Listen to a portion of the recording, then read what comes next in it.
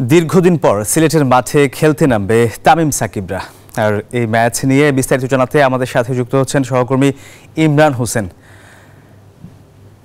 ইমরান, আপনি শুনতে পাচ্ছেন নিশ্চয়ই আমাকে। ইমরান, আপনি আপনি জানাবেন যে একাদশে কোনো প্রকার পরিবর্তন দেখতে পাচ্ছেন কিনা? সেই সাথে সিলেটের উইকেট কেমন হতে পারে বলে মনে করছেন?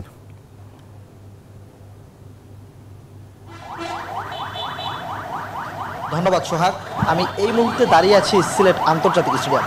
আপনি যেমনটি বলছিলেন, আসলে দীর্ঘদিন পর হ্যাঁ দীর্ঘ তিন বছর পর সিলেট আন্তর্জাতিক স্টেডিয়াম আসলে আন্তর্জাতিক ম্যাচ ফিরছে।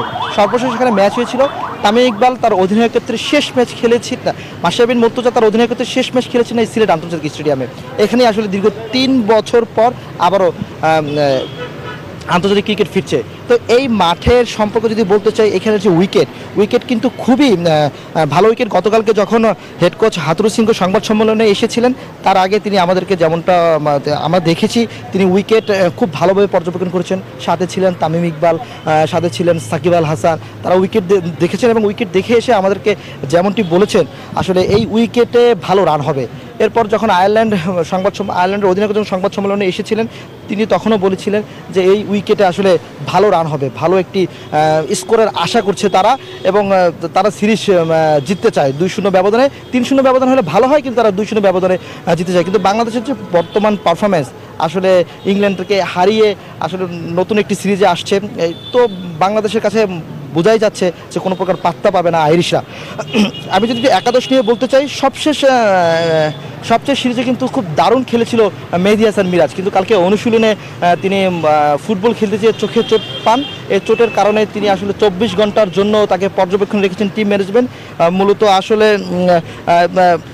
চব্বিশ ঘণ্টার জন্য পর্যবেক্ষণে আছেন। হয়তো তার এই অনুশীলনের কারণে আসলে চোটের কারণে তিনি হয়তো এই সিরিজে মিস মিস করবেন, এই সিরিজের প্রথম ওয়ানডে তিনি মিস করবেন। এছাড়া আরিজের বিপক্ষে মিরাজের জায়গায় একাদশে সুযোগ হতে পারে স্পিনার নাসুম আহমেদ। পেসারদের মধ্যে কিন্তু লড়াইটা খুব ভালো হবে। কারণ হচ্ছে পেসাররা কিন্তু খুবই দারুণ ছন্দে আছেন। Tamim cutter master Mustafizur Rahman, Shoriful Islam, Ebadot Hossain.